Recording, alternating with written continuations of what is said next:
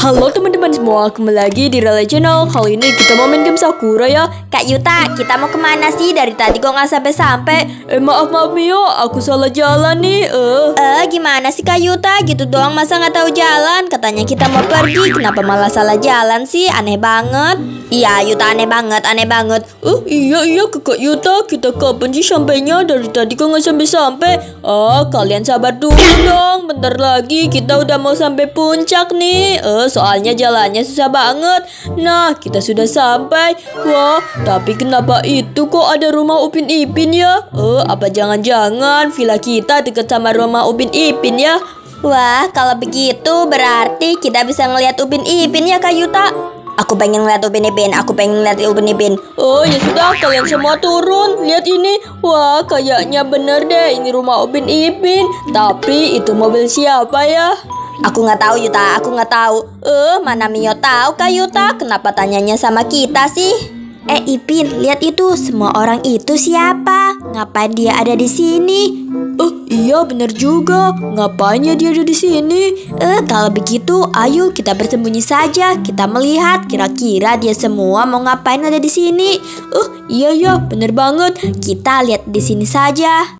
Oh Mio kalau begitu aku mau masuk ya. Kalian semua mau ikut atau enggak? Eh Kak Yuta, jangan Kak Yuta. Itu kan bukan rumah kita. Oh tapi kan aku pengen masuk. Kira-kira Upin sama Ipin punya mainan apa ya? Soalnya pengen aku ambil nih.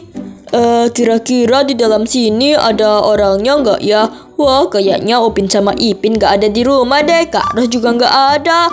Wah enak banget rumahnya. Persis banget sama yang ada di film Upin Ipin.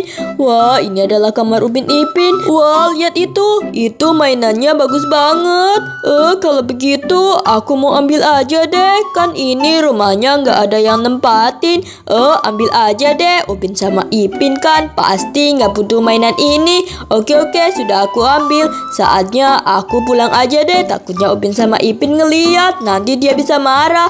Eh ya sudah ya sudah.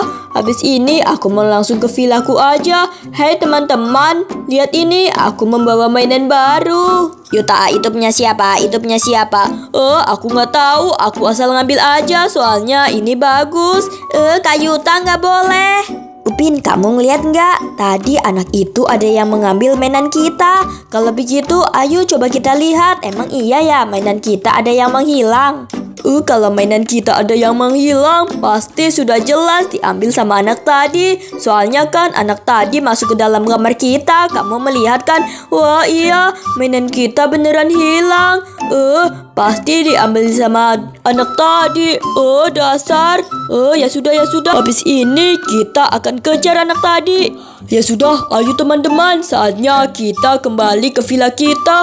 Mobilnya kita bawa ya, takutnya nanti hilang. Ya iyalah Kak Yuta dibawa, masa nggak dibawa? Ini kan bukan mobil kita, kita kan cuman pinjam mobil orang. Bener Yuta, kita pinjam mobil orang. Oh, taruh situ aja deh, aku males bawanya. Aku udah gak banget, pengen tidur. Eh, Kak Yuta, kita nge villa kan? Enggak, enggak Selin, tenang aja. Aku sudah tahu ke villaku. Eh, tungguin Mio Kak Yuta.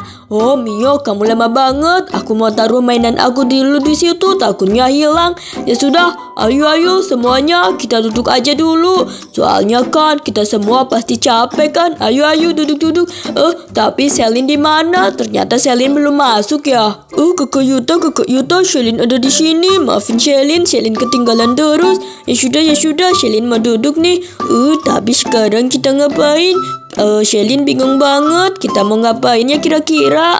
Oh, Selin, aku juga bingung banget. Kita mau ngapain ya? Soalnya aku nggak bawa banyak makanan. Uh, ya sudah deh. Kalau begitu, Shelin mau naik ke atas ya. Shelin mau tidur. Kakak Atom, ayo temenin Shelin. Temenin Shelin tidur. Eh, ayo Selin, ayo Selin. Oke, oke. Ayo, ayo, ayo. Oh ya sudah Selin, kamu hati-hati ya Selin. Uh, iya iya kakak Yuta, Selin kan cuman ke atas doang. Uh, tapi kenapa ini tangganya susah sekali ya kakak Atom? Ya Selin, benar sekali. Ini susah sekali. Ini susah sekali. Oh iya iya nggak ada pegangannya takutnya Shelin jatuh Wah kasurnya cuma ada dua Sedangkan kita kan ada berlima kakak Atom Oh iya benar juga Selin. Nanti aku duduk aja. Aku duduk aja. Oh ya sudah ya sudah Oh Shelin mau lihat luarnya ternyata bagus juga ya Ya sudah kakak Atom duduk di sini ya Nanti Shelin mau tiduran dulu ya kakak Atom Iya Selin, iya Selin. Oh ya sudah Shelin mau tidur di mana ya?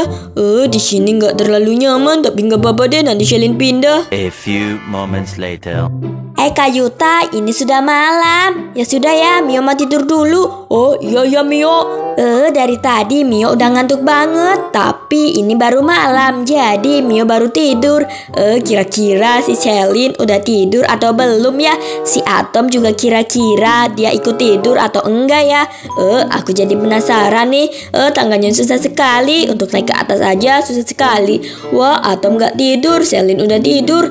Atom kenapa kamu tidak tidur seperti Celine? Nanti saja Mio, nanti saja. Eh, ya sudah, aku mau tidur. Wah, enak sekali kasurnya. Eh Atom, aku mau keluar, kamu mau ikut atau enggak? Enggak Yuta, aku takut, aku takut. Yah Atom, gitu doang, kamu nggak berani. Ya sudah deh, aku sendirian aja. Yuta, kamu mau ke mana? Kamu mau ke mana? Aku mau jalan-jalan pakai mobil. Aku pengen ngeliat pemandangan. Hati-hati Yuta, hati-hati. Iya iya tenang aja. Eh aku mau ngebawa ini deh. Takutnya nanti ini diambil sama si Atam. Eh di mana ya mobilnya? Wah kalau malam-malam gini agak serem. Tapi kayaknya seru deh kalau jalan-jalan. Wah kira-kira Upin sama Ipin ada di dalam atau enggak ya? Semoga dia nggak sadar deh kalau mainan ini aku ambil. Soalnya mainan ini kan bagus. Nah, aku lewat sini agar lebih cepat. Nah, kira-kira aku mau ke mana ya? Aku bingung sekali. Eh, tapi aku juga takut soalnya aku sendirian. Eh, ini mobil aku kenapa? Kenapa nggak bisa digerakin? Eh, gimana ya cara aku kembalinya? Kalau aku muter pasti itu tinggi sekali. Eh, gimana ya? Emang iya aku harus naik ke situ? Eh, mana mungkin bisa? Eh, bagaimana ini? Eh, tahu gini mendingan aku nggak usah keluar. Eh, mana mainan Upin sama Ipin? Aku pegang lagi, nggak bisa aku sembunyikan. Eh.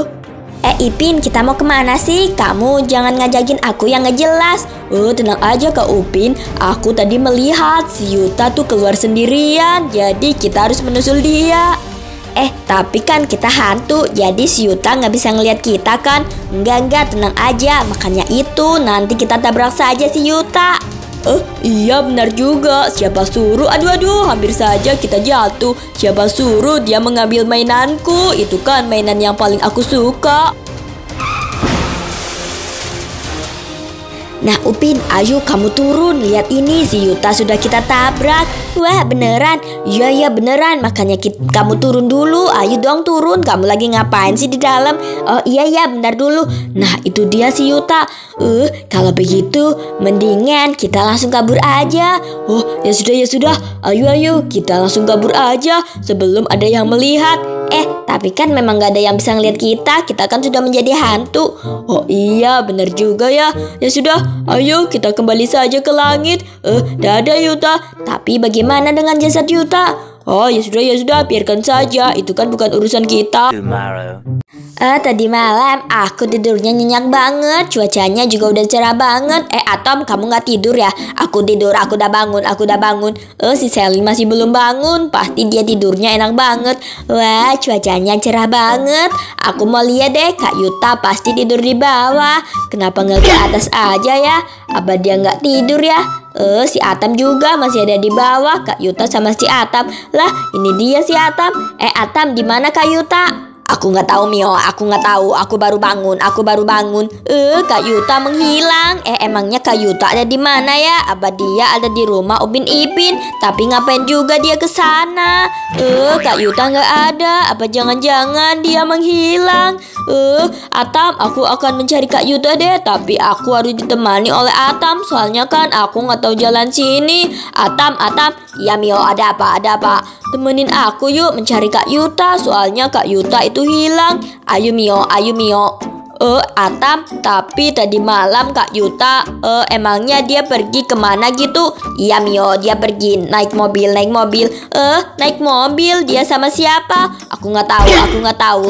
Eh, tapi mobilnya kenapa menghilang ya? Eh, apa Kak Yuta ada di sana? Tapi ngapain juga? Mio, kayaknya dia belum kembali dari semalam, belum kembali. Eh, emang iya ya? Tapi mobilnya juga nggak ada. Eh, jangan-jangan Kak Yuta menghilang. Sabar Mio, sabar. Kita lagi mencari. Pasti nanti ada, pasti nanti ada. Eh, iya ya Atam. Eh, wah, itu mobilnya Kak Yuta. Wah, itu kan mobil yang ada di rumah Upin Ipin. Kenapa ada di situ? Dan di situ juga ada darah. Eh, aneh sekali. Ya Mio, aku juga nggak tahu. Aku juga nggak tahu.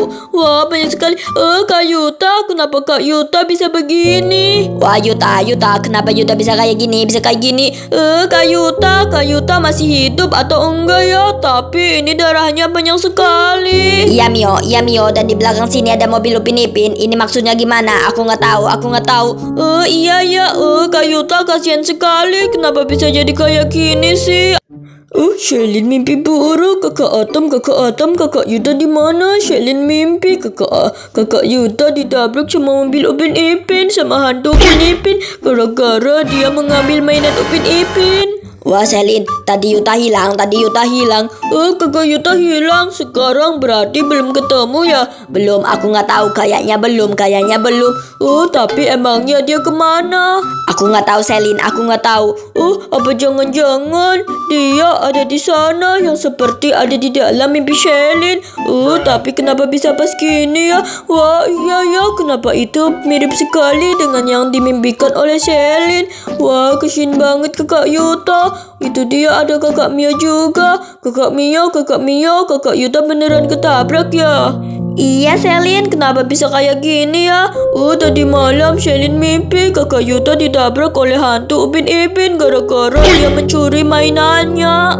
Kasihan sekali Yuta, kasihan sekali Yuta. Terus ini gimana? Terus ini gimana? Gimana cara kita pulangnya? Eh, gimana kalau kita nanti bawa Kak Yuta ke dokter? Tapi kita telepon Kit Butler dulu. Kasihan sekali Kakak Yuta. Gimana ini? Gimana ini? Eh, ya sudah guys, sampai sini dulu ya videonya. Jangan lupa untuk like, comment, and subscribe. Eh, Selin, gimana? Kak Yuta kasihan banget. Eh, gimana cara kita pulangnya?